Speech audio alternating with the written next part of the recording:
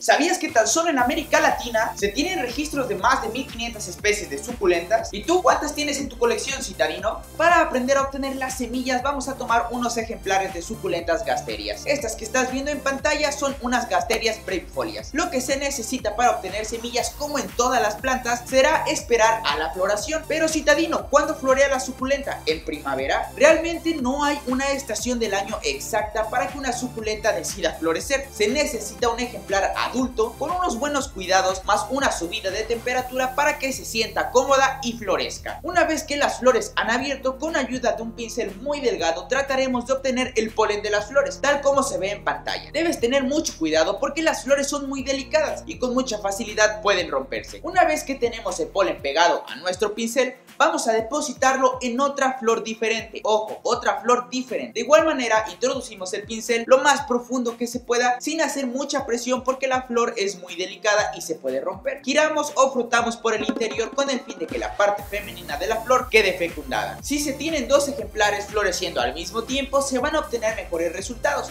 Pero si no es así, no te preocupes. Solo asegúrate de frotar varias flores de tu suculenta para obtener la mayor cantidad de flores fecundadas. Ahora en pantalla, citadino, observas dos gasterias carinata variedad verrucosa, en las cuales hace aproximadamente un mes y medio se hizo el procedimiento de autofecundar las flores. Y mira, con mucha alegría te quiero mostrar cómo se formaron unos frutos de color verde, donde dentro vamos a encontrar nuestras semillas. Oye, citadino, ¿y cuándo puedo cosechar las semillas? Bueno, se debe esperar a que el fruto se comience a secar y abrir por sí solo. Si pusiste atención, citadino, en pantalla se vio al principio una seca y abierta. Ahorita estás viendo unos frutos todavía verdes. Cuando están así, no es tiempo de cosechar, porque si cosechas en verde será más difícil que las semillas germinen debido a la falta de madurez. Posterior a esto, vamos a cortar los frutos para cosechar nuestras semillas. La verdad es que me pone muy feliz porque se obtienen bastantes semillas de cada fruto. Una vez que cosechas las semillas, puedes guardarla para cuando decidas ponerlas a germinar. Recuerda que debe ser en un lugar fresco y seco para evitar la aparición de hongos. O bien si decides como yo ponerlas a germinar inmediatamente, no hay ningún problema. Si es la primera vez que miras uno de mis videos y quedaste encantado, suscríbete,